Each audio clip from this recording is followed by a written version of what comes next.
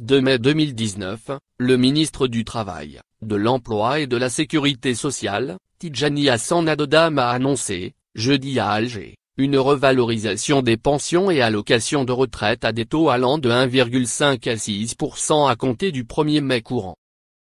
Dans le cadre de l'amélioration du pouvoir d'achat des retraités, le gouvernement a décidé, après examen par le Conseil d'administration de la Caisse nationale des retraites, CNR, la revalorisation des pensions et allocations de retraite au titre de l'année 2019, à des taux allant de 1,5 à 6% à compter du 1er mai 2019, a précisé le ministre qui supervisait les travaux d'une journée d'information sur la prévention sanitaire dans le milieu du travail.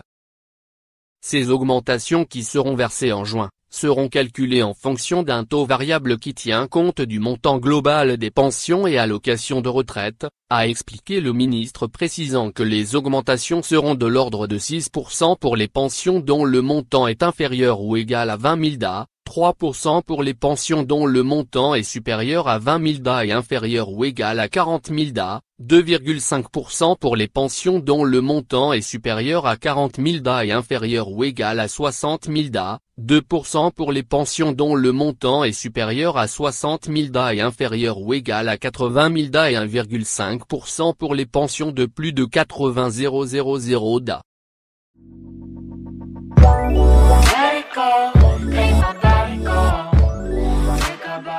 high.